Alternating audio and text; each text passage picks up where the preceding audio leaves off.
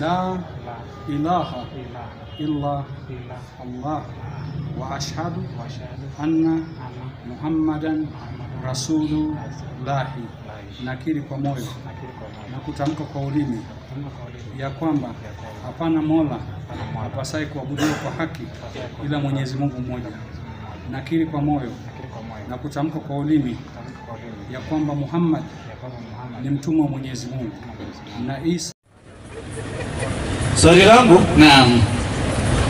kuna vile ninyi mnasema ya kwamba Yesu Kristo hakusurubishwa msalabani, Nafikiri sio sisi tulikuwa tunasoma maandiko. lakini Biblia yenyewe yaeleza kweli Ndio. Yesu Kristo alisurubishwa msalabani. Andiko gani? Andiko lenyewe sijui, lakini Biblia inasema hivyo. Ukienda kanisani tuambiwa Yesu Kristo alisurubishwa msalabani na tunasimama Biblia. Yohana 3:16 au ni gani? Kwa jinsi hii Mungu aliupenda, ndio hiyo. Ah, Mm. ni mahali Yesu ambapo baba alikamatwa na akapelekwa msalabani, lakini hii mnapinga ya kwamba Yesu Kristo yeye mwenyewe hakupelekwa msalabani. Lakini kuna andiko. Ile sikumbuki la andiko lenyewe mm. na siwezi taka kusema ni pale, alafu tupite ati bwana mdogo. Nafikiri umesikiliza swali. Huyu bwana anasema yeye hakumbuki maandiko, lakini anajua Yesu alisulubiwa na ameambiwa kanisani, wewe wacha machungu, wacha wacha.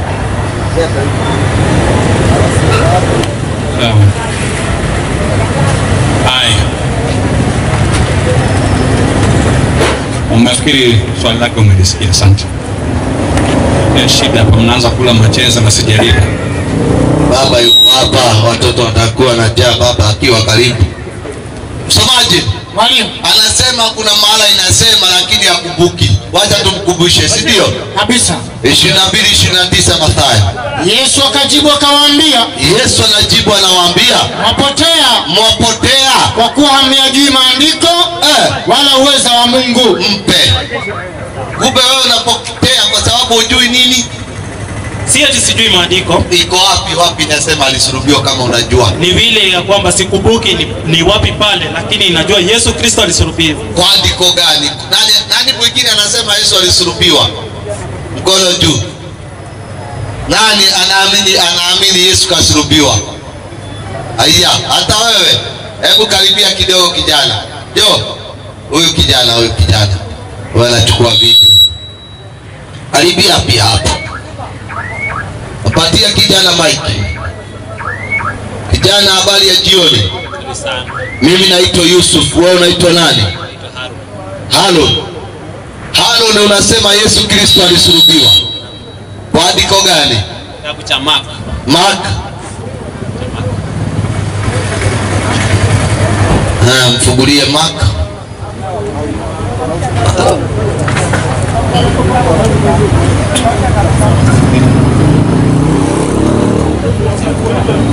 Aya 16 moja mpaka kumi. Ndio. Ah, Mm. Hata sabato alipokwisha kupita, ndio. Maria Magdalini na Maria mama Yakobo na Salome walina manukato wapate kwenda kumpaka hata alfajiri mapema siku ya kwanza ya juma. Wakaenda kaburi, kaburini jua lilipoanza kuchomoza, wakasemezana wao kwa wao, ni nani atakayetuvungulishia lile jiwe mlangoni pa kaburi? Hata walipotazama waliona ya kuwa lile jiwe limekwisha kuondolewa, nalo lilikuwa kubwa mno. Wakaingia kaburini, wakaona kijana ameketi upande upande wa kuume, amevaa vazi jeupe eh, jeupe. Wakastaajabu, na yakawaambia msistaajabu, mnamtafuta Yesu Mnazareti aliyesulubiwa. Amekufa, hayupo hapa. Patazameni mahala walipomweka. Lakini nendeni zenu mkawaambia wanafunzi wake Ah, hapo ndipo inaelezea Yesu. Tupe Tupea sauti kidogo. Hapo ndipo inaelezea Yesu aliweza kusulubishwa, Mm. aliweza kuzikwa. Hapo penye magadarini kwa Gadarini wanaenda kumwangalia kwenye kwenye wanaangalia kwenye wanaenda kumwangalia kwenye alikuwa amekufa sasa. Kijana, Na hilo andiko limenichanganya. Changanya wapi? haya rudia kumi na sita moja. Hata sabato ilipokwisha kupita. Hata sabato ilipokwisha kupita. Mariamu magdalini mariamu magdalini na mariamu mama ya yakobo. Na mariamu mama yakobo. Na salome. Na salome. Walinunua manukato wapate kwenda kumpaka. Mpe maiki. Kwa mujibu wa ile andiko ulitoa tunatajia wanawake wangapi? Watatu. Walikwenda wapi? Waende wakampake nani? Manukato sawa? Kugali giza bado si ndio? Sasa mahala anachanganyikiwa ni hapa. 28 moja mathayo. 28 eh, moja mathayo. Matayo ndio. 28 moja. Mm. hata sabato ilipokwisha kupambazuka. Kisa kile kile rafiki yangu hata sabato ilipokwisha kupambazuka. Siku ya kwanza ya juma. Siku ya kwanza ya juma. Mariamu magdalini mariamu magdalini na mariamu ule wa pili. Na mariamu yule wa pili. Walikwenda kulitazama kaburi. Eh, natazama. Mpe maiki kwanza. Mathayo anatueleza. Waliokwenda kaburini alfajiri wanawake gapi Wawili. mariko alituambia walikuwa wangapi. Mariko akasema walipofika kaburini wakakuta jiwe limeondolewa sawa? Wakaingia ndani wakaona nani? Kijana. Si mzee. Mzee ni nasoro. Kijana mmoja amekalia nini? Sawa. Haya twende hii ishirini na nane chini. Eh, inasema tazama. Ndio. Palikuwa na tetemeko kubwa la nchi. Tazama palikuwa na tetemeko kubwa la nchi. Kwa sababu malaika wa bwana. Ma- kwa sababu malaika wa bwana alishuka kutoka mbinguni. alichuka kutoka mbinguni. Akaja akalivingirisha lile jiwe akalikalia. Mpe. Mathayo anasema huyu malaika kutoka mbinguni alivingirisha lile jiwe akalikalia wapi? Alikalikalia juu ina maana huyu malaika alikuwa nje hakuwa nini? Na ile nyingine malaika alikuwa wapi? Hatukuambiwa huyo kijana kwani kijana nani? Hakuna mahali tuliambiwa alikuwa malaika. aya sawa. Hii inasema walikuta malaika amekalia jiwe sawa? Ile nyingine hawakukuta mtu nje waliingia ndani wakaona kijana amekaa. Tuamini ipi kijana kabla utafakari ya babu wacha tukupatie ya mjomba. Mpe huyo maiki. Tumuulize yohana. Yohana unasemaje? Ishirini moja. Yohana ishirini moja. moja. Ndio inasema hivi Aha. hata siku ya kwanza ya juma hata siku ya kwanza ya juma. Maria Magdalene, angalia kisa kile kile mariamu magdalini alikwenda kaburini alfajiri kungali giza bado. Alikwenda kaburini. Mansolo mansolo papa. Amekwenda kaburini kugali giza bado. Akaliona lile jiwe limeondolewa kaburini. Akaliona lile jiwe limeondolewa kaburini. Basi ndio. akaenda mbio. Kwa mujibu wa mathayo wanawake gapi walienda? Naona unaanza kuelewa wangapi walienda ndio nikakwambia maandiko yako yanatuchanganya. Ndio qurani inasema hivi inakutoa chaka hizo zote. Ile mia hamsini na saba qurani. Hiyo mambo ya yesu kufa ondoeni hapa. Nne. Na wacha kijana agugu andiko lingine tulifanyie musasa nne mia hamsini na saba. Ndiyo inasema hivi. Inasema nini? Bismillahi rahmani rahim. Ehe. nne mia hamsini na saba. Eh, maana hakuna hata andiko moja ndani ya Biblia lisilokuwa na shaka linathibitisha Yesu kafa. Kila andiko likija, lazima kuna na pili yake linagogana, kwa sababu Qurani ni maneno ya Mungu na Mwenyezi Mungu hawezi kudanganya. Qurani la reiba fi, haina shaka. Mungu achasema wote wanaodai kwamba Yesu kafa hawana uhakika. Wao Unafikiria wataleta uhakika hapa? Watajaza itilafu hapa. Teremka chini. Na kwa ajili ya kusema kwao. Na kwa ajili ya kusema kwao. Sisi tumemuua Masihi Isa mwana wa Mariamu, wao wamemuua masihi yesu mwana wa mariamu. Mtume wa Mungu, mtume wa mungu. Hali hawakumuua. Mwenyezi mungu anasema hali hawakumuua. Wala hawakumsulubu, wala hawakumsulubisha yesu. Bali bali waliba- walibabaishiwa mtu mwingine, waliletewa samadha walibabaishiwa mtu mwingine. Wakamdhani nabii Isa. wakasurubisha, wakadhani ni yesu kumbe ni duplicate. Teremka chini. Na kwa hakika na kwa hakika wale waliohitilafiana katika hakika hiyo wote wanaosema kwamba yesu kafa ya kumuua nabii Isa ndio wamo katika shaka nalo jambo hilo, la kusema kauawa. kwa hivyo lazima kupatikaniwe shaka. Qurani imesema wanaosema kwamba yesu kafa wamo katika shaka. Mpe kijana. Tunaelewana? Jaribu kuelewana. Tunajaribu kuelewana. Uko na lingine la kudhibitisha? sina. Hauna? Sasa mimi nataka nikuoneshe shaka nyingine hapo. Msomaji ya kwanza hii mpe huyo maiki. Mathayo 27 27 Mathayo 27 27 Mathayo 27 27 27 Eh, hii kesi ya kifo cha Yesu niliwaambia na huwa nawaambia Wakenya orede iliyowasilishwa Hague, sio mambo ya mchezo.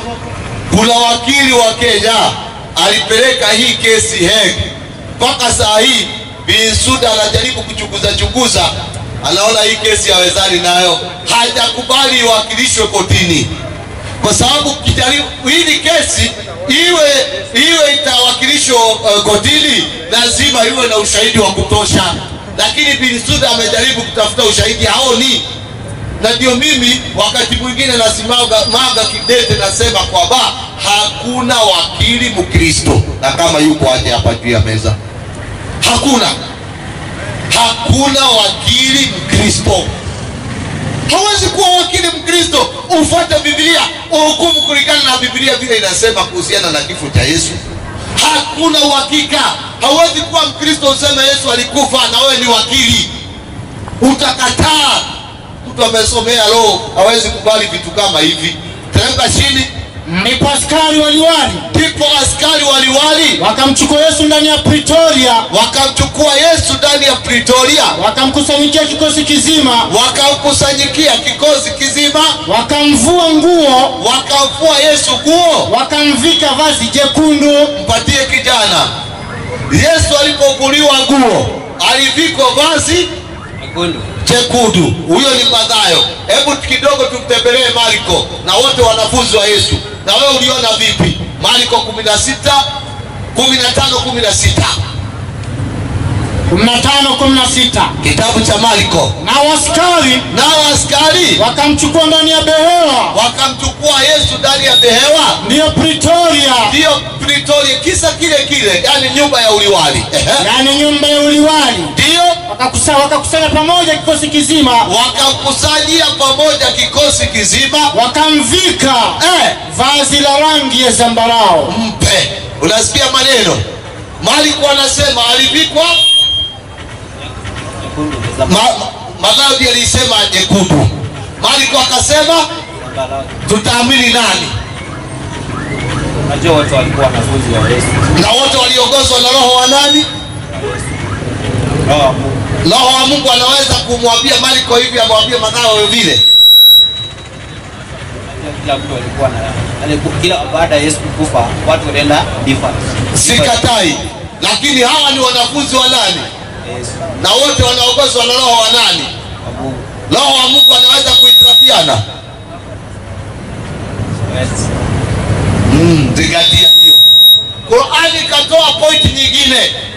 Ikasema walifananishiwa waliletewa mtu mwingine wakasurubisha wakadhani kwamba ni yesu. Je huo ushahidi upo ndani ya Biblia? sikiliza hiyo hujawahi sikia. Yohana 314 Yohana 3:14 ndio inasema hivi, inasema nini? Yohana 3:14 mimi nakuelimisha polepole kama kijana mwanafunzi. Ehe. 3:14 kitabu cha yohana. Yohana. Ndio na kama vile Musa. Na kama vile Musa. alivyomwinua yule nyoka jangwani, Sikiliza, haya ni maneno ya Yesu. Yesu anasema kama vile Musa alivyomuinua yule joka jagwani vivyo hivyo vivyo hivyo mwana wa Adamu mwana wa Adamu. anabudi kuinuliwa. Mpe maiki. Unamjua mwana wa Adamu ni nani? Yesu anasema atainuliwa sawa sawa na vile Musa alivyomuinua nani? nyoka jagwani Nyoka jangwani. Swali nikuulize ndugu yangu, unajua habari za Musa na kuinua nyoka? Naam. Aliinua nyoka ya kweli ama ilikuwa duplicate? Nyoka ya kweli. Nyoka ya kweli. Wewe, mimi na Biblia tuamini nani? Biblia tunaamini. Msomaji, chukua maiki, kitabu cha Hesabu ishirini na nini, ishirini na nane sita kama sikosei, ama ishirini na moja nane ishirini na moja nane Ndio Hesabu ndiyo. Inasema hivi Eh, anasema aliinua nyoka ya kweli, na anasema hizo habari anazijua. Unajua, wakati mwingine kusema sijui ni nusu ya elimu kuliko kusema unajua. Utakosa kusoma ndugu yangu. Teremka chini. Inasema. Bwana akamwambia Musa, Mungu akamwambia Musa, jifanyie nyoka ya shaba. Unasikia maneno, jifanyie nyoka ya shaba, sio original, duplicate. Nyoka ya shaba, teremka chini, ukaiweke juu ya mti, ukaiweke juu ya mti. na itakuwa kila mtu aliyeumwa Eh, ai- aitazamapo. Mpe maiki. Kumbe nyoka iliyoinuliwa iliyowekwa juu ya mti ni nyoka ya nini? Sio original nini? Na yesu anasema pia naye kama vile musa alivyoinua ile nyoka jangwani hana budi kufanya nini? Ina maana nayo ile itakuwa duplicate ya nani? Tumia maiki. Kwa hivyo sio nani? Eh, ndio tunawaambia msimsigizie yesu. Yesu hajawahi kufa na mpango wa kufa haupo Mm, mzee pale ashainua vidole, tutakuja tu. Patia huyu kijana mwingine mwisho huko wa machungwa. Umeelewa hiyo maneno? Ndiyo, lakini mwenye alisulubishwa ni Yesu Kristo. Kwa andiko gani? Unajua, sio unatumia kifua, tusitumie mate hali wino upo, dhihirisha kwa maandiko. Andiko gani? Pale pale Musa anaambiwa afananishe nyoka, lakini hakuna mahali Biblia imesema Yesu alifananishwa. Kuna mahali popote pale Biblia inasema Yesu alifananishwa. Andiko limesema kwamba kama vile Musa aliyoinua joka, joka jangwani, hivyo hivyo Yesu anafanya nini? Ndipo atainuliwa yeye, Na, na tumeona Musa. lakini yeye amesema yeye ndivyo atainuliwa. na nĩ ndĩroria atĩrĩrĩ musa nĩ nyoka yama aoete igũrũ rĩa mũtĩ kana nĩ nyoka yama ya gwĩthondekera. Haijalishi, lakini Yesu Kristo anasema kama vile haijalishi, kwa sababu kama vile Musa, Yesu anasema ya kwamba yeye mwenyewe ndivyo atainuliwa, lakini asemi Ah, yeye atakufananisha. kama vile like nini maana ya like na musa pale aliinua joka ya nini? Kama ni sawasawa itakuwa ni yesu samatha. Yesu duplicate yani samatha. Wapi wapi Biblia imesema hivyo? Ni wapi Biblia imesema? na sita kumi na mbili mariko wewe unataka iseme wapi? Imeisha maneno kumi na sita. Uh, yesu samatha ndiye alisulubiwa. Ukienda nyumbani unasema hivyo. Teremka chini kumi na sita. Kumi na mbili. Kumi na mbili. Ndio. Marko. Kumi na sita kumi na mbili. Ndio. Baada ya hayo baada ya hayo akawatokea watu wawili miongoni mwao, yesu akawatokea watu wawili miongoni mwao. Ana sura nyingine, mpe. Yesu alitokea akiwa na sura Nyingine. yake iko wapi? Lakini Yesu sasa yake iko wapi maana amekuja na sura nyingine sura yake iko wapi amekuja na sura nyingine kwa sababu hiyo ni baada ya kufufuka. subiri yake kwani mtu anafufuka na sura nyingine Lakini wewe mwenyewe usaiona mtu yeyote amefufuka. kufufuka Kwa hivyo ndugu yangu unaniuliza maswali mazito. Kama nishaona mtu amefufuka, Awolo walifufua nyama nyanya wa miaka mia moja tukaona kwa picha amefufua. Tony Jolala huyu amefufuliwa na uoni eh, na alikuwa na ile sura sura yake tu ile unyanya ule, miaka mia moja ajusa, alirudi hivyo hivyo. Tuko pamoja? Tunaelewana? Hivi kuna mwenye swali?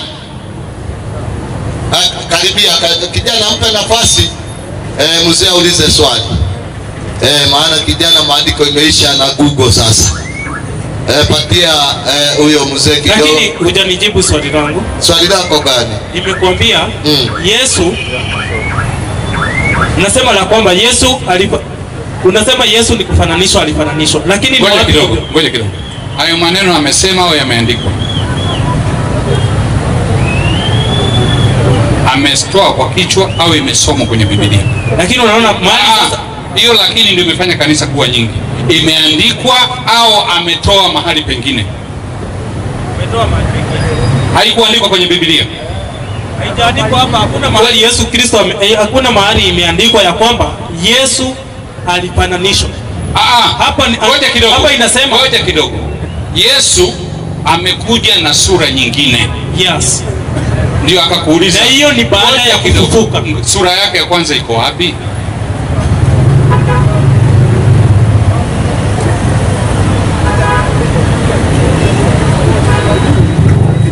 Patie huyu, pumzika kidogo. Patie mzee mwenzangu. Jambo mzee. Salama. Naam. Jina lako? Naitwa Joski Saseseko. Saseseko, Mtu wa Kongo ni? Mimi ni Mkenya. Oh, karibu nikupige kikongo sango nini di. Najua uliposema seseseko ni yule wa upande hili. Ni Kongo nayo nani? Olo Joski. Olo Josephine. Joski. Joski. Uti wapi? Uh, maana wa Kisumu huko eh, usiende huko sana bana. Unajua sasa jina lako la Kikongo sasa ndio nimekupeleka huko. Kilingala. Okay. Unajua sisi hapa unatuona tumekaa tu, lakini ukija Kilingala tuko, ukija Kifaransa tuko, atansio atansio roboni turmabile shu raramis. Ukija Kichina hamsing peng, maana yake assalamu alaikum. Yaani kila kona tuko. Sawa, twende kwenye swali lako. Sawa, mimi ni Mkenya. Nauliza, Naam. naona umetokezea ubishi na hiyo ubishi haikufaa kwenda hivyo. Nauliza kuhusu binadamu anapoaga dunia. Ndio. Sisi kama Wakristo tunavyoamini ni kwamba binadamu aliyeokoka na anapoaga dunia anazaliwa kwingineko kule ambako hatujui kama ni mbinguni au kule anakokwenda kwa mwili nyingine na sio mwili yetu hii ya mifupa na nyama. Hivyo ndivyo naelewa. Kwa hiyo mtu akifa unaweza kama sasa mimi naweza kwenda nikazaliwa China eh? Ungekuwa Mkristo Eh. na umeokoka Ndio. ukafa Ndio. mbinguni hatuendi na miili yetu hii yazikwa yanabaki kaburini. Hiyo roho ndio inaenda inakokwenda sio kwa wachina. No. tafadhali. Hivyo ndivyo tunaamini kwa sababu nimeona mnabishana kwa ukali mno kuhusu huyo ndugu aliyetoka lakini mimi nimejaribu kwa kindani kidogo kufafanua. Maana mumemshtua na ameshtuka. Mili ambayo Yesu alirudi nayo alipofufuka si ya nyama na mifupa. Naamini ni miili ya kiroho. Sawa baba. Usiniulize maswali makali ambayo sitaweza. Sasa ndugu yangu, hapa ni majadiliano, Yeah. ndio maana ukisema Yes. na huyu pia nampa nafasi aseme, Yeah. na yeye akisema tunakupa nafasi sema. Unajua hapa sio eti mtu mmoja tu anaongea. Eh, sasa wewe umesema, sikiliza bwana, huyu yule aliyosema, anasema mtu anapokufa, hata Yesu alipokufa, alipofufuka, hakufufuka na huu mwili wetu, alikuwa hana nyama. Al- alipofufuliwa alikufufuliwa hana nyama hana nini yani alifufuliwa kiroho. Nafikiri ndio swali sasa naenda naye taratibu. Kweli mzee wangu, hata mimi sitaki kuuliza maswali ya magumu ya kukushinda. tumuulize Yesu, wewe ulipoonekana baada ya kupotea kwa siku tatu hujaonekana, ulikuwa roho ama ulikuwa mwana mwili na mfupa? Mpewe mike. Mathayo 20 ya Luka 24 36 24 36 Luka. 24 36 Luka. Ndio 24 36 36 ndio Luka mtakatifu. Mm, karibu akuje na imani ya Jehovah Witness ati ukifa unazaliwa nchi ingine ukiwa na mwili mwingine. Jehovah Witness wanasema hivyo, ukifa hapa unazaliwa China ukiwa ng'ombe ama mbuzi. Teremka chini. Na alipokuwa katika kusema habari hiyo, Na walipokuwa katika kusema habari hiyo, yeye mwenyewe alisimama katikati yao akawaambia, Yesu mwenyewe alisimama katikati ya wanafunzi wake akawaambia, amani iwe kwenu. assalamu alaikum, amani iwe kwenu. Kwemanya sayo betikodo.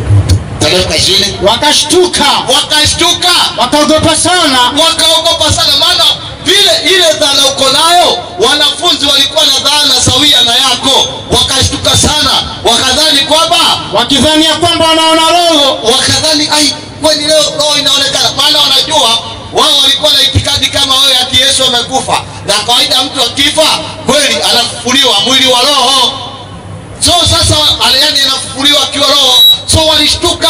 Maana wao walikuwa na dhana kama yako na ya ndugu yetu pale kwamba yesu amekufa. Tena chini Akawaambia, yesu akawaambia mbona mnafadhaika? Mbona mnafadhaika? Na kwa nini mnaona shaka mioyoni mwenu? na kwa nini mnaona shaka mioyoni mwenu? Tazameni mikono yangu na miguu yangu, yesu anawaambia tazameni mikono yangu na miguu yangu. Ya kuwa ni mimi mwenyewe. ya kuwa ni mimi mwenyewe. Nishikeni, shikeni muone, yesu anasema nishikeni nishikeni muone. Kwa kuwa roho haina mwili. Kwa kuwa roho na mifupa. Na mfupa. Kama mnavyoniona mimi kuwa nayo. mpe. Kumbe yesu aliporudi bado alikuwa na mwili na nini? Ndugu yangu. No. No nini sasa? No what? Iko hivi ndugu yangu. Na umesoma vizuri sana kutoka kwa kitabu. Ndio. Na imesema vyema sana nimeelewa. Ndio. Kwamba mm. Alitoa alionyeshana okay, muone alama ambazo labda mlinipiga Ah, viledi na we- wewe umetuambia yesu alipofufuka alifufuka kiroho. Kwani ukifa ukifufuka haukuagi na mwili na mifupa kama kawaida? Mzee wangu hayo yote wamesikiza wa- wa- wasikilizaji. Sasa sahii tumeona yesu ako na mifupa na mwili unaanza kurukaruka no haikuwa miili ya mifupa na nyama. No. Biblia imesema nini? Ilikuwa ni miili ya kiroho japo ilikuwa na maalama lakini siyo mwili ya mifupa na nyama. Hiyo ni rudia tena hapo mwisho. Mzee wangu rafiki yangu. Soma tena mwisho. Akawaambia, mbona mnafadhaika? mbona mnafadhaika? Kwa nini mnaona shaka mioyoni mwenu? mzee wako ameanza kupiga maandiko na mnaona shaka mioyoni mwenu. Tazameni mikono yangu. Yesu anasema tazameni mikono yangu na miguu yangu, na miguu yangu. Ya kwa mimi mwenyewe. ya kuwa ni mimi mwenyewe. Nishikeni, shikeni yesu anasema nishikeni. Shikeni muone, muone. Kwa kuwa roho haina mwili. Kwa kuwa roho haina mwili. Na mifupa. Na mifupa. Kama mnavyoniona mimi kuwa nayo. mpe. Kwa hivyo yesu alikuwa na mwili na nini ndivyo hivyo mke wangu sikukuambia uwe mkristo haya ustadhi nasoma Ndio, huwa sio ubishi, huwa ni maandiko. Hichi kikundi kinaitwa mpe huyo. Haya, una swali jingine? Okay mnavyo mnavyo mnavyohubiri Naam. Katai lakini kuna mtego madogo madogo mnaegesha hapo katikati ni ya, ni, ya, kupoteza mtu kidogo lakini ukweli ni kwamba miili inavyoeleza Biblia, miili alikuwa nayo ni ya kiroho Ah, ah. Rudia andiko. Akawaambia, Ndio. pengine mzee, tungeangalia pamoja. Sogea karibu mzee wangu, Eh, angalia tu. usije ukaona kwamba Akawaambia, mbona mnafadhaika ndio na kwa nini mnaona shaka mioyoni mwenu? ndio. Tazameni mikono yangu na miguu yangu, Sikiliza, Ya kwa kwani mimi- kidogo. Roho haina mikono wala miguu. Yesu anasema tazameni mikono yangu na miguu yangu, ndio. Ya kuwa ni mimi mwenyewe. ya kuwa ni mimi mwenyewe. Nishikeni, shikeni Touch me, touch me. Unajua roho huwezi ishika eh, muone, ndio. Kwa kuwa roho eh, haina mwili wala. na mifupa. Eh, kama kama. mnavyoniona mimi mm, kuwa nayo. Patia ndugu yangu, umeelewa eh? Unaelewa hii ni nyama. Okay, Unajua, unajua. Ukristo hauwezi simama bila kifo cha Yesu. Sasa wameweka weka ionekane Yesu kafa ndio upatikane Ukristo, lakini bila kufa kwa Yesu hakuna Ukristo. Sasa wameitengeneza, ndio maana wanasemekana sisi tumeonekana mashahidi wa uongo wa Mungu kwamba tumemfufua Kristo ambaye hatukumfufua, lakini tukiwa tukitegemea haya, sisi ni watu wamepotea, na kama Kristo hakufufuka, sisi ni imani yetu bure. Yaani imani ya Kikristo inasimama na kufa na kufufuka kwa Yesu. Yaani bila kufa kwa Yesu Wakristo hawapati uzima wa milele, lakini sisi Waislamu bila kufa wa Yesu amekufa, Muhammad yupo amekufa, wewe unasimama na imani yako. Roho itendayo dhambi ndiyo itakayokufa. Hebu nisomee katika Ezekieli 18:20 kidogo tu. Ezekieli Naam, 18:20 ndio. Nasema hivi, Eh. Ezekieli 18 20 inasema roho ah, roho itendayo dhambi ndio itakayokufa, Roho itendayo dhambi ndio itaingia jahannam. Ehe. maana hatachukua uovu wa baba yake Yusufu hawezi kuchukua, yani Yesu hawezi kuchukua uovu wa baba yake Yusufu, wala baba hatachukua uovu wa mwanawe. wala mwana hawezi kuchukua uovu wa baba yake. Haki yake mwenye haki Haki yake mwenye haki, itakuwa juu yake, kisha na uovu wake mwenye uovu hey, utakuwa juu yake. lakini. Mtu, aki, mtu mbaya Sasa ikiwa wewe ni mbaya akighairi kighairi, na kuacha dhambi zake zote alizozitenda na kuzishika amri zangu zote ndiyo na kutenda yaliyo yaliyo halali Ehe. na haki, non, huyo hakika ataishi. yani utende yaliyo halali na haki tu. Kwa mfano, najua mimi nimekuwa mwalimu wa nasari. Naomba kijana mmoja hapa, njoo vijana wawili, njoni, siogope, saidie misala miwili hapa, nataka nifundishe kinasari nasari kidogo. Njoo kijana, wewe shika hii na wewe utashika hii, sawa? Kwa mfano, hawa ni watu wa kawaida, huyu amebeba bangi na huyu amebeba bangi. Huu ni mfano tu. Kisha mimi sina bangi na pale mbele kuna polisi. Tukikutana na polisi, nani atashikwa? Mpe, Aliyepatikana na bangi ndiye anashikwa eh? Mpe huyo. Sasa kwa sababu mimi ni mzuri sana, nikasema leteni bangi yenu ni niwabebee. Sasa hawa wakipatikana na polisi watashikwa. Watashikwa. Nani atashikwa? Aliye na mwenye amepatikana na bangi Nitupwe wapi? ndani. Haya, sasa tunakuja katika wa- mafundisho sasa ya Kikristo. Hawa ni Wakristo, mimi Yesu kwa mfano. Kisha mimi Yesu sina dhambi, lakini Wakristo huyu kabeba dhambi na huyu kabeba dhambi. Mimi Yesu nikienda mbele ya Mungu sina dhambi, sinapata uzima wa milele. Sawa? Hawa Wakristo kwa sababu wana dhambi watakwenda wapi? Jehanamu. Sasa mimi Yesu kwa sababu ni mzuri, nikasema leteni bangi zenu niwabebee, leteni dhambi zenu niwabebee. Hao Wakristo wanakwenda wapi? Hawana dhambi, watakwenda wapi? Na mimi Yesu mwenye dhambi nitakwenda wapi? Hiyo nimekupa mfano, nimekupa mfano taratibu tu. Sasa Wakristo wanapenda sana Yesu ahukumiwe apelekwe korokoroni, wao wapate uzima wa milele wa free. Ndiyo maana Yesu anasema katika 8:30 ngapi? 8:21 Yohana. Yesu alikataa, 8:21 ndio Yohana Mtakatifu. Yesu akasemaje? Ah, inasema hivi Ehe. basi Ngojeni kujeni hapa, ninyi wa Kristo. Ndio. Basi akawaambia tena, Eh, mimi naondoka, sikilizeni, mimi naondoka, nanyi mtanitafuta, nanyi. Nanyi nanyi. mtakufa katika dhambi yenu. nyinyi wenyewe. Mimi si bebi ya mtu, na nyinyi wenyewe mnaimbaga, mnasema kila mtu atauchukua mzigo wake mwenyewe siku ya mwisho, siku hiyo ikifika. Pararampa, pararampa, kila mtu atatoa pararam, pararam habari zake mwenyewe siku ya mwisho, siku hiyo ikifika. Haleluya! Asanteni sana. Umeona vile? Sasa hii ni imani ya kutengeneza.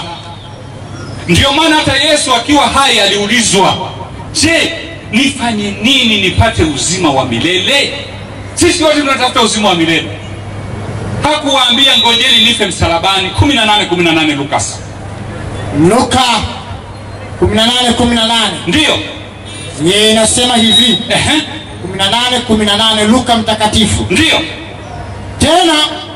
Mtu mkubwa mmoja alimuuliza akisema, Akasemaje? mwalimu mwema, Eh, nifanye nini ili nipate kurithi uzima wa milele? unaona watu wanatafuta uzima wa milele. Sasa anaulizwa Yesu mwenyewe ambaye ndio mwalimu, ndiyo njia. Ehe. Yesu akamwambia, Eh, mbona unaniita mwema? hakuna Hakuna aliye mwema Eh. ila mmoja, naye naye ndiye Mungu. ndio Wazijua amri? mpe. Kwa hiyo ukitaka uzima wa milele ufate amri za nani? Ya Mungu. Katika amri ya Mungu kuna damu na msalaba? Hakuna. Thank you very much. Tumeelewana eh?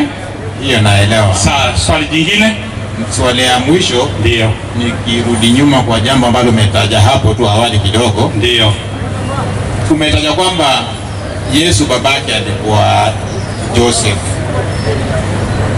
ndio kwamba Yesu hawezi akabeba dhambi za Joseph.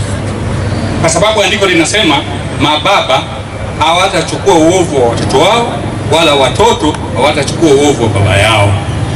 Hiyo ni kweli katika maandiko. Ndiyo maana hata mimi nikiwa mgonjwa leo, nimekwenda hospitali, mimi ndio mgonjwa, mke wangu amenipeleka, Yeah. niko na malaria. yeah. Nani anatakana kudungwa sindano ya malaria, mimi au mke wangu? Wewe. Sio mke wangu.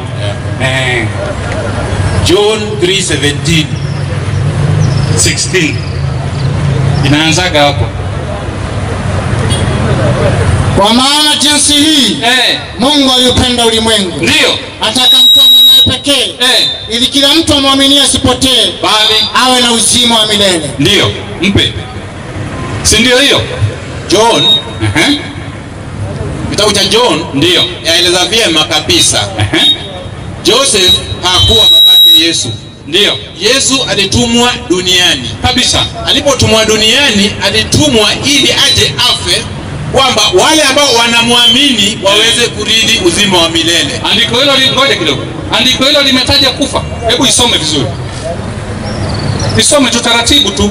Kwa maana jinsi hii Ndiyo, Mungu aliupenda ulimwengu ehe, ataka akamtoa mwanaye pekee ili kila mtu amwaminie mpe kila mtu afanyaje? Amwaminie. Eh, sio kufa. Ngoja kidogo, amwaminie, sio kufa. Sawa, umwamini nani? Yesu Kristo mwenyewe. Eh, uamini, uamini maneno yake, mafundisho yake.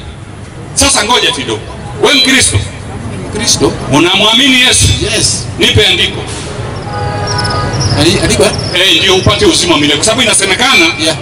kila mwenye kumwamini atapata uzima wa milele. Sasa ili Wakristo wapate uzima wa milele Yes. wapi andiko katika Biblia Wakristo wanamwamini Yesu? Sisi Waislamu tunayo. na inavyosema alitumwa ili amwamini. Mimi namwamini. Ah, ah, usimwamini kwa maneno. Unajua hata wewe leo unafaa, unawezi kwenda posta mwisho wa mwezi ukachukua mshahara na ujafanya kazi. Inataka usiamini tu kwamba ah, mimi naamini nafanya kazi posta, mpaka ufanye vitendo. Sasa ili kama kweli unamwamini wewe ni Mkristo, tupe andiko Wakristo wanamwamini Yesu. Na mimi leo natoa hapa fatwa, nasema ya kwamba ikiwa itatolewa andiko moja Wakristo wanamwamini Yesu, mimi naacha Uislamu leo leo, mnanibatiza andiko moja ye wakristo wanamwamini yesu. Ili wapate uzima wa milele. Basi naambiwa Yohana tatu kumi na tisa basi. Nisome yohana 3:16 19 wakristo wanamwamini yesu. Na hii ndio hukumu. Ndiyo ya kwa nuru imekuja ulimwenguni. Ndiyo na watu wakapenda wakapenda giza Ndiyo. kuliko nuru. Ndiyo kwa maana matendo yao Eh. yalikuwa maovu. Ndiyo maana kila mtu atendaye mabaya Eh. huichukia nuru. Sa wala Mm. haji, haji kwenye haji kwenye nuru. Ndio. Hapo imetaja wakristo imetaja neno wakristo okay. Hiyo hiyo hilo ndio imani yetu. Ah, ah. Nasema hivi. Ngoja kidogo. Unaweza sema wewe ni odm ikifika siku ya kura katika chumba cha kura usimpigie raila ukampigia uhuru. Kusema na kutenda ni vitu viwili tofauti ndio maana nikakutolea hapa andiko. Si, hakuna aliyomwamini yesu isipokuwa Muislamu. chukua qurani. Pige huyo qurani kwanza. Naamini Yesu. Mpe huyo mpe kwanza. 2136 sisi ndio tunapata uzima wa milele. Mimi nikiingia paradiso nipate mkristo pale natoka najua hapa sio paradiso. Semeni nyinyi waislamu. Sikiliza inataja watu gani? Mpe huyo inataja watu gani? Ninyi Waislamu. Mpe huyo. Waambie mayahudi eh, na manasara yani Eh. wakristo hey, eh. waambieni ndio. tumemwamini mwenyezi mungu. Kuamini mungu kwanza. Na yale tuliyoteremshiwa. Ndio na yale Eh. yaliyoteremshwa kwa Ibrahim. ibrahimu tunamwamini ismael ismail tunamwamini Isaka, isaka yakubu yakobo. na kizazi chake yakobo. Ndio na waliopewa musa. Na nani? Na isa yani Eh. yesu. Wote. Eh, wote tunawaamini. Mpe huyo. Kwa hiyo waislamu wanamwamini nani? Sawa. Ah, wanamwamini nani wanamwamini nani? Umetaja Yesu. Aha. na yesu katika andiko ulilotoa kila amwaminie anapata uzima wa nini? Kwa hiyo waislamu wamepata uzima wa nini? Nipe andiko moja wakristo wanamwamini yesu. Sasa hivi naondoka. Chukueni na koti yenu waislamu. Ah, chukua. Hata tisa. Chukueni chukueni vitu vyenu vyote. Andiko moja tu wakristo wanamwamini yesu. Jamani kama kuna mkristo yote analoandikwa hapa wakristo wanamwamini yesu. Akae hapo. Anibatize sasa hivi. Na mwingine anisaidie haya kuna mmoja anakuja hapo. Haya ndio huyo mpe kijana huyo mpe kijana mkaka karibu karibu karibu. Mzee ameona mambo yamewaka. Na anatuzia bagi patie kijana. Eh, ngoja anatuzia bagi sijui kama unanunua. Habari yako bwana mdogo? Toa sauti. Usiogope habari yako? Salama sana. nasikia unataka kusilimu si ni kweli? Uko tayari? Haya utasema haya maneno ninayosema unaona sasa huu ndio ubatizo sasa. Ubatizo ndio huu.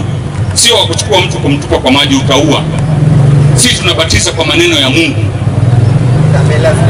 Haya sema bismi Bismi lahi lahi rahmani rahmani rahim. Ashhadu Ashhadu an la la ilaha ilaha illa illa allah. Wa ashhadu ashhadu anna anna muhammadan Muhammadan rasulullahi. Nakiri kwa moyo. Na kutamka kwa ulimi. Ya kwamba ya kwamba hapana mola. hapana apasaye kuabudiwa kwa haki. Kuabudiwa kwa haki. Ila mwenyezi mungu mmoja. Ila Mwenyezi Mungu mmoja. nakiri kwa moyo. Nakiri kwa moyo. Na kutamka kwa ulimi. Na kutamka kwa ulimi. Hakika ya muhammad. Hakika ya Muhammad. Ni mtume wa mungu. Ni mtume wa Mungu. Na isa. Na Isa. Mtume wa Mungu, mtume wa Mungu, Ibrahimu. Ibrahimu. Mtume wa Mungu, mtume wa Mungu, wote na waamini. wote na waamini. Basi sasa unachagua jina gani katika Uislamu? Kuna majina mazuri, kuna Ali, kuna Nasoro, Sheikh Nasor. Unajua ile jina langu zito, watu wanaliita tu Nasor, lakini linaitwa Sheikh Nasor, idha jaa nasrullahi wal fath. Sio majina tu hivi hivi. Hmm? Ungependa jina gani bwana mdogo? Kuna Muhammad, kuna Abubakar, Unataka Muhammad. Takbir, takbir! Njoo kidogo Muhammad. Nataka kama itawezekana, Muhammad apatiwe kofia moja apatiwe kofia moja. Asante, jazakallahu khair. Nataka Muhammad apewe kofia moja. Hii yangu imechapa, tunaona mimi mwenyewe nimechapa. Nani tutolee kofia moja hapa? Na utoe kofia ili rahisi, sio ya ngiri kama.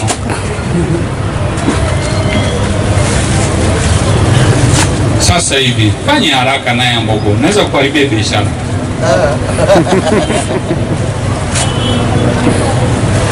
Kofia moja hapo tuiweze kuitoa sasa hivi. Haya, Muhammad, chagua mwenye kofia ile unapenda, chagua.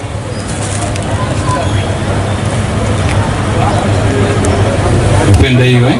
Hebu angalia kwanza kama inakutosha.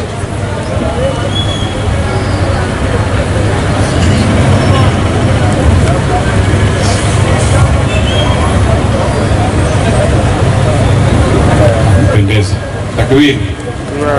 Haya, unadaiwa shilingi ngapi? mia mbili hamsini. Hii hapana, mia mbili. Alafu Waislamu tunadaiwa machungwa umekula machungwa hapo ya mia tatu. Kwa hiyo tunadaiwa mia tano. Naomba mia tano hapo. Sasa. naomba mia tano. Mi nishapewa mia. Haya. Mia yangu ndio ilikuwa ya transfer, lakini basi. Mwenyezi Mungu tena upena kinyata mwenyewe. Jazakallahu khair shukran. Shukran shukran. Jazakallahu khair jazakallahu khair Haya, tunadaiwa bado haijafika. Asante, asante, asante, asante, jazakallahu khair. Shukran. Soro, Kibiri, Kilamu, Kandala, Nogul. Hebu hesabu hizo ngapi? Hebu hesabu hizo. waje kidogo. Ah, hiyo yake, ile yake. Mia tano. Haya, hii ni yako. Sawa, hii ni yangu. Sawa, asante. Sema hii ni yako mwalimu. ni yako mwalimu. Thank you. Mzungu. Haya, asante. Lakini bado tutakuwa naye msikitini inshaallah tutaweza kufanya zaidi, tuone kama naye atapata kanzu, kwa sababu unaona hii kanzu na kofia iko katika Biblia, katika kitabu cha Walawi kumi na sita kuanzia nne. Yusufu, njoo na hii kanzu yako.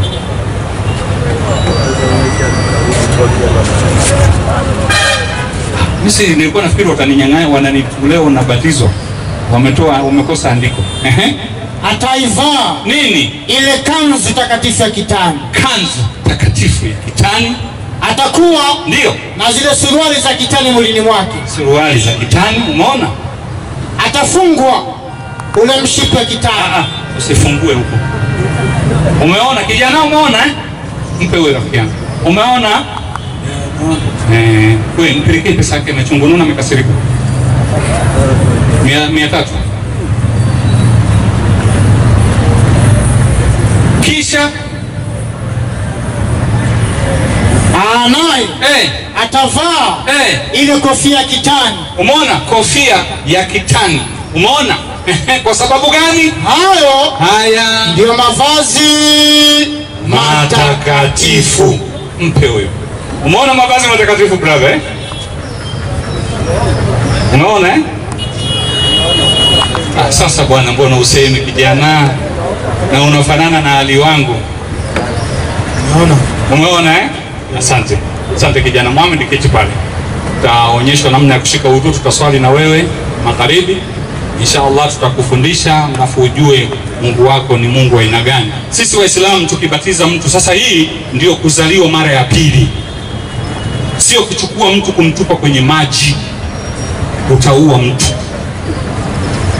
Na hii kuzaliwa mara ya pili ni kupokea neno la Mungu, kwa sababu Yesu alipokuwa anabatizwa, Yohana akasema, mimi naobatiza kwa maji, lakini yule anakuja nyuma yangu ana nguvu kuliko mimi, atawabatiza kwa Roho Mtakatifu na kwa moto.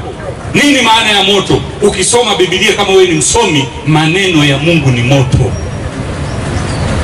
Sasa sisi hapa tumempatia mtoto maneno ya Mungu tu, ameyapokea sasa, amepokea maneno ya Mungu, amezaliwa mara ya pili. Petro wa kwanza moja ishirini na tatu.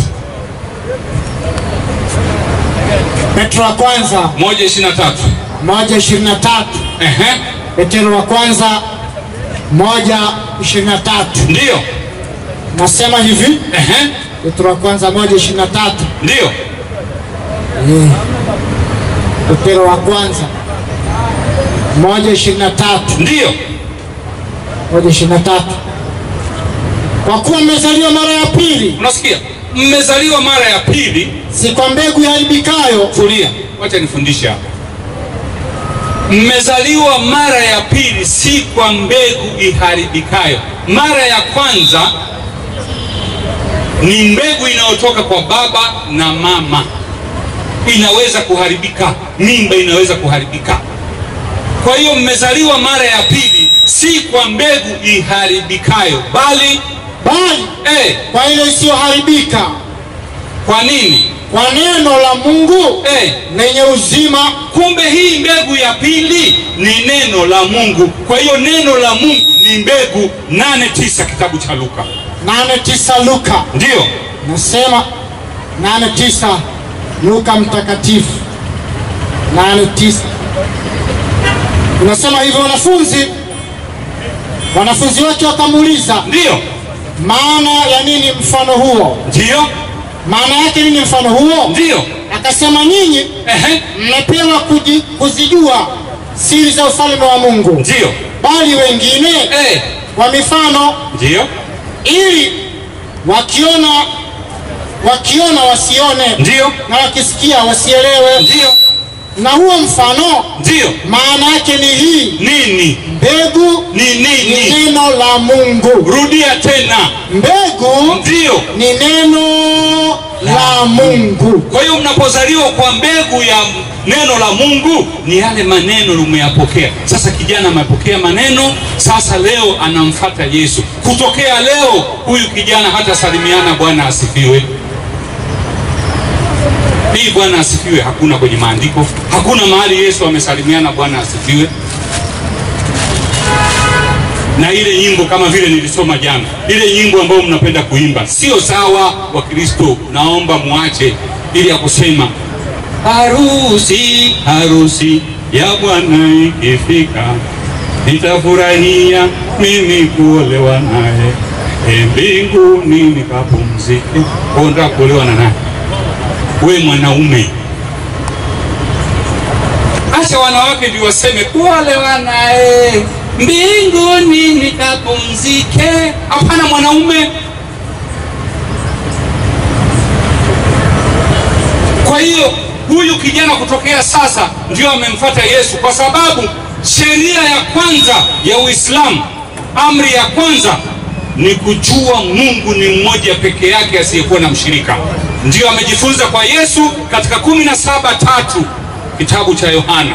Yohana 17 Ndiyo mstari wake wa tatu inasemaje? 17 tatu Ndiyo na uzima ehe. wa milele ndio huu Yesu anasema ukitaka kupata uzima wa milele ndio huu. wa kujua wewe Nani Mungu wa pekee wa kweli na nani? na Yesu Kristo Eh, uliyemtuma. kwa hiyo ujue Mungu yuko peke yake na ni wa kweli, hakuna utatu mtakatifu. Na Yesu uliyemtuma, aliyetumwa anaitwa mtume. Huwezi kusema kwamba aliyotumwa ndiyo mdosi. Kwa mfano, mimi leo nitume pesa kupitia posta, nitumie mke wangu, mke wangu ana matatizo, nitume pesa kupitia posta. kisha mke wangu aende posta akachukua hizo pesa, alafu mke wangu akishapata pesa aanze kuimba pale posta.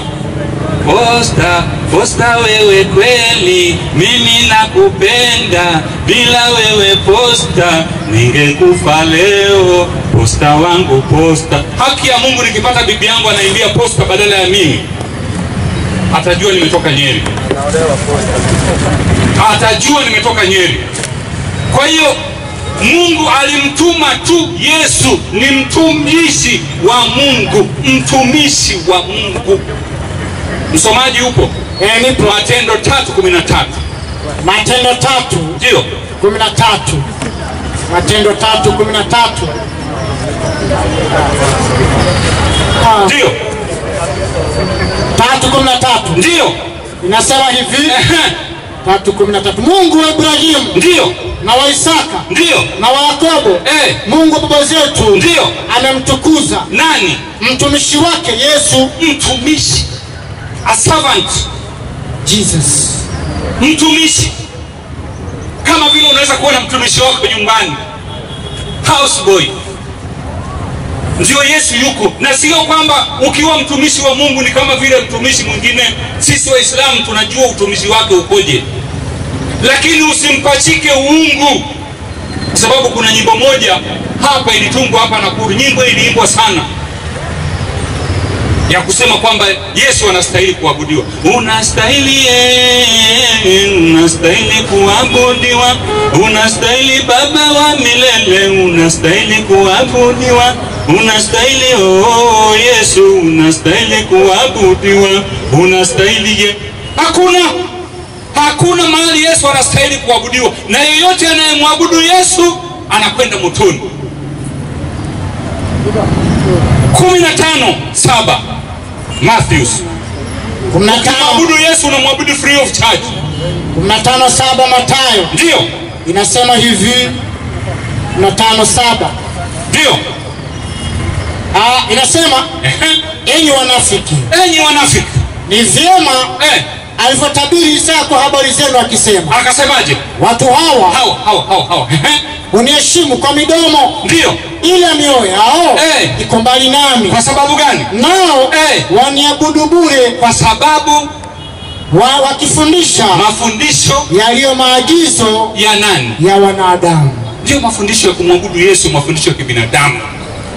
Na aliyoleta mafundisho hayo ni Paulo, na Paulo mwenyewe anasema ninanena kwa jinsi ya kibinadamu ili nipate kujisifu angalawa kidogo. Hakuna mahali Yesu amesema yeye Mungu. Kwa hiyo amri ya kwanza kijana ameifata. Amri ya pili, leo akitoka hapa anaenda kushika udhu, anaenda kabla ya kuswali atanawa mikono yake, kichwa chake na miguu yake pia. Msomaji mwalimu upo nipo kumi na saba kumi na tatu kuanzia tano. kumi na tatu kumi na tatu tano Ehe, ngoja kidogo nipate kile. Yohana Mzee, nisaidie kilemba chako hicho hicho kilemba hii ha. Nisaidie hiyo, saidie sasa. Angalieni maneno kwanzia nne. Nipatie. Ah, inasema Eh? aliondoka chakulani Ndio, aliondoka chakulani akaweka kando mavazi yake ndio. akatoa kitambaa Ehe, akajifunga kiunoni tulia hapo hapo. Yesu akatoa kitambaa akajifunga kiunoni. Waislamu, kile kitambaa tunatumia ni hiki, nyinyi wenyewe mnajua. Kile kitambaa kingine kinachotumika hichi kitambaa kinatumika na ndugu zetu kanisani, wanaimbaga wanasema, bariki bariki, kama unampenda Yesu sema ye, watu ye. Lakini kitambaa kinachotumika na Waislamu hiki. Sasa tuangalie Yesu alitumia kitambaa gani, akafanyaje? aliondoka chakulani Eh, akaweka kando mavazi yake. Ndio. Akatua, akatua kitambaa. Akajifunga kiunoni. Njoo kijana, nifunge kiunoni na hii. Kwanza. Anza na hii, tuone gani inaweza kufunga kiuno, tujue Yesu alitumia kitambaa gani. Wewe sasa unafunga tumbo, funga kiuno, haiwezi. Haya, jaribu hii. Ah, nilikuwa nafunga tu. Ehe. Gani inafunga? Umeona? Kwa hiyo unajua Yesu alitumia kitambaa gani? Kisha kisha eh, akatia maji katika bakuli, ndio akaanza kuwatawadha wanafunzi miguu. kama vile Muislamu akiingia msikitini anaenda kuswali, kwanza anatawadha. Sasa Yesu anawatawadha wanafunzi miguu na kuifuta eh, kwa kile kitambaa alichojifunga. ndio Eh, inasema kitambaa alichojifunga. kisha Akamfikia Simoni Petro, eh, huyo akamwambia, ndio Bwana, eh, wewe wanitawadha miguu mimi? Yesu akasemaje? Yesu akajibu akamwambia, Ndio. nifanyalo Eh. wewe hujui sasa, Bali lakini utalifahamu baadaye. kisha Petro akamwambia, Eh. wewe hutanitawadha miguu kamwe. eh, Yesu akamwambia, kama nisipokutawadha huna shirika nani? Waislamu kwa siku wanatawadha mara tano kwenda kuswali kwa siku mara tano. Kwa hiyo wanashirika na Yesu kwa siku mara ngapi? Mara tano. Sasa wewe ni, ni jiulize tu kwa hapa, sitaki kukuuliza. Jiulize, ulitawadha lini? Ulitawadha lini? Sasa hii ndio kutawadha. Simon Petro alipoona kwamba atakosa shirika na Yesu akasemaje? Ah, inasema Simoni Petro akamwambia, Bwana ah, Bwana, eh, si miguu yangu tu, ehe, hata na mikono yangu ndio na kichwa changu pia. Qurani tano sita. Qurani tano sita.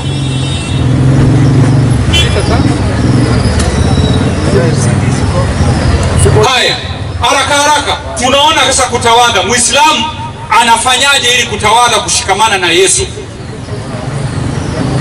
Tano sita, mwalimu, Ndio, nimefika. Enyi mlioamini, ndio mnaposimama ili mtasali kama vile Yesu alivyofundisha. Basi eh, osheni nyuso zenu na nini na mikono yenu na nini? mpaka vifundoni, Ndio, na mpake vichwa vyenu Eh. na osheni miguu yenu kama vile Simon aliposema, si mikono yangu tu, hata na kichwa changu na miguu yangu pia. Sasa unakuta huyu kijana kweli sasa ndio anamfuata Yesu. Baada ya hapo atakwenda kuswali. Je, ataswali swala ya kanisani au swala ya msikitini? Tutamuuliza Yesu. Mathayo 26:36. Mathayo 26 Eh, 36 inasemaje? 26 36 Ndio. nasema hivi Ehe, kisha Yesu ndio. akaenda pamoja nao mpaka bustani itwayo Getsemani, Akasemaje? akawaambia wanafunzi wake, Ketini hapa. hata niende kule nikaombe. Angalia sasa, kijana atakwenda kuomba. Sasa akienda kwa wakati wa kuswali, ataswali swala gani, ya kanisani au swala ya Yesu? Ehe, Akamchukua Petro na wale wana wawili wa Zebedayo, ndio. Akaanza kuhuzunika na kusononeka. Kisha Ndipo akawaambia, Eh. roho yangu ina huzuni nyingi kiasi cha kufa, ketini hapa, mkeshe pamoja nami. akaenda. Akaendelea mbele kidogo, Rudia tena, akaendelea mbele kidogo, Yesu hakurudi nyuma kidogo, alikwenda mbele kidogo. Sisi Waislamu tunaposwali, kiongozi anakuwa mbele kidogo, lakini kanisani kiongozi anarudi nyuma kidogo kuangalia kondoo. Kondoo anamwangalia yeye na yeye anaangalia, lakini sisi Waislamu kiongozi anaangalia mbele. Akaenda mbele kidogo, akaanguka kifulifuli, akasema e Baba, akaomba akisema, e Baba, ikiwezekana kikombe hiki kiniepuke, walakini si kwa kupenda kwangu, ila kupenda kwako Baba. Sasa kijana saizi atafanya hivyo, atakuwa amemfata Yesu. Sasa wewe jiulize, kule unakofanya wewe, je, unaposwali, je, unampata Yesu? Je, mnafanya ibada namna hii? Tena angalia, Yesu anaangalia mbele, hawa wengine pia wanaangalia mbele, lakini sasa utakuta kanisani kiongozi anaangalia kondoo, sawa? Kondoo wanaangalia mchungaji. Wewe umepanda gari na kwenda Nairobi, unakuta dereva anaangalia passenger, passenger anaangalia dereva, itafika tena? Mnaambiwa kabisa mfunge, nafungeni macho. Ah, kwani Yesu alifanya namna hiyo? Hakufanya hivyo. Kijana, njoo njoo, hapa. Naona unataka kusilimu, sema bismi. Sio sasa eh? Umeona? Kwa hiyo hii ndio vile huyu kijana atafanya akiingia msikitini, anashikamana na Yesu moja kwa moja. Kwa hiyo ndugu zangu Waislamu na wasiokuwa Waislamu, muhadhara huu leo umekuwa ndio umefikia kikomo, kwa sababu wageni wetu kesho wanasafiri, wanakwenda sehemu za Dama Ravine na watakwenda sehemu zingine, lakini